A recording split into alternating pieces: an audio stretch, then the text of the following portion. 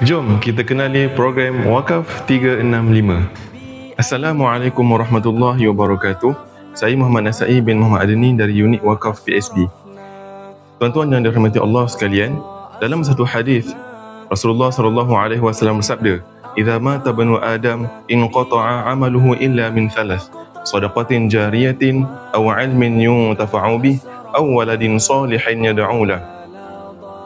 Mafhumnya Rasulullah sallallahu alaihi wasallam bersabda kepada kita bahawa tiga amalan yang dapat membantu kita selepas kita meninggal dunia. Iaitu apa dia tuan-tuan dan puan Iaitu pertama sekali adalah sedekah jariah. Yang kedua adalah ilmu yang bermanfaat dan yang terakhir adalah doa anak-anak yang soleh yang mendoakan kepada ibu bapanya.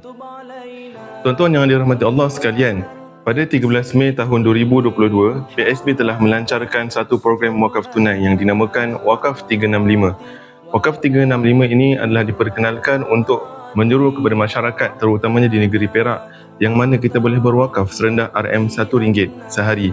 Yang mana bila kita kumpulkan dalam masa setahun sebanyak RM365 jadi untuk wakaf tunai ini tuan-tuan dan puan-puan kita akan salurkan kepada empat sektor utama.